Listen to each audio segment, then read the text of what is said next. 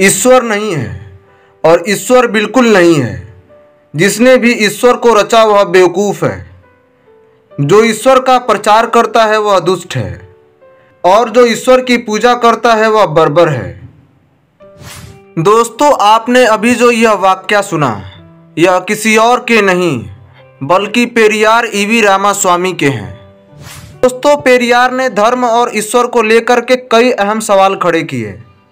उन्होंने तो ईश्वर को लेकर के पंद्रह सवाल खड़े कर दिए, जिसका जवाब आज तक कोई भगवान या उनके भक्त नहीं दे सके।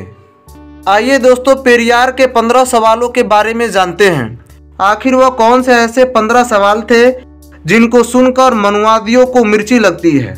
दोस्तों, पेरियार ईश्वर से कहते हैं कि, क्या तुम कायर हो, जो हमेशा छिपे रहते हो, कभी किसी के सामने नहीं आते? क्या तुम खुशामद प्रस्त हो, जो लोगों से दिन रात पूजा अर्चना करवाते हो?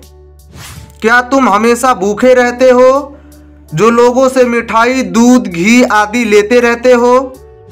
क्या तुम मांसाहारी हो, जो लोगों से निर्बल पशुओं की बलि मांगते हो?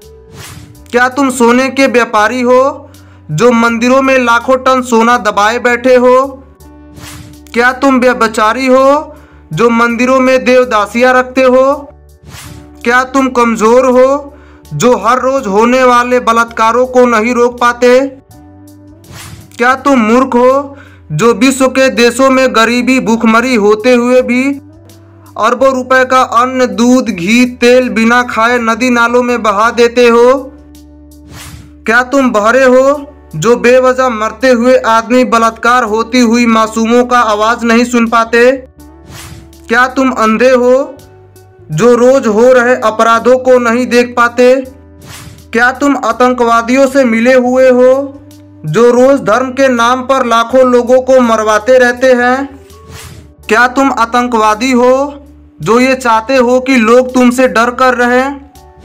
क्या तुम गूँगे हो जो एक शब्द नहीं बोल पाते, लेकिन करोड़ों लोग तुमसे लाखों सवाल पूछते हैं? क्या तुम भ्रष्टाचारी हो जो गरीबों को कभी कुछ नहीं देते, जबकि गरीब लोग पशुवत काम करके कमाए गए धन की पाई पाई तुम्हारे ऊपर निछावर कर देते हैं। क्या तुम मूर्ख हो जो हम जैसे नास्तिकों को पैदा किया, जो तुम्हें खरी खोटी सुनाते रहते हैं और तुम्हारे अस्तित्व को ही नकारते रहते हैं?